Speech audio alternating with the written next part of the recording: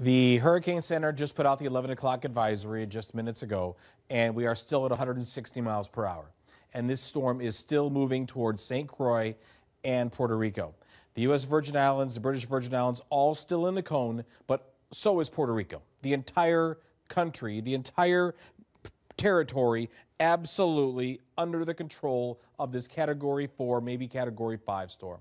So here's Puerto Rico. 3.5 million Americans live here.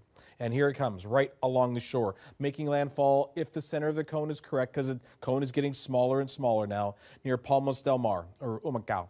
This is the area that will see the hardest wind damage. Across the area as well, there is a national forest there called El Yunque.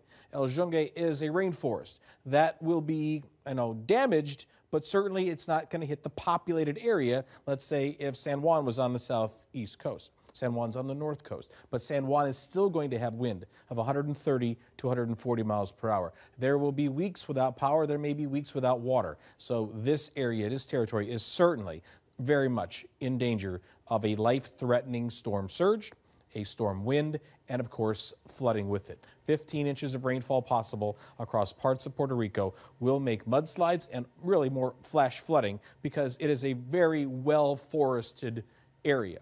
So this island is so forested, we're not going to see the potential mudslides like we see in Haiti, where the deforestation has taken over so many of the land areas that mud comes down rather than water coming down. There is a storm right now, 160 miles per hour. We still have gusts to around 190. Hurricane hunters are in the plane, are in the, the storm right now in their plane, and they just found a 188 mile per hour wind gust about 700 feet off the ground. So not the surface, but 800 feet, 700 feet.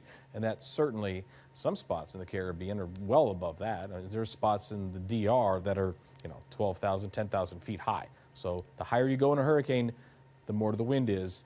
And there are plenty of spots there that are higher than sea level.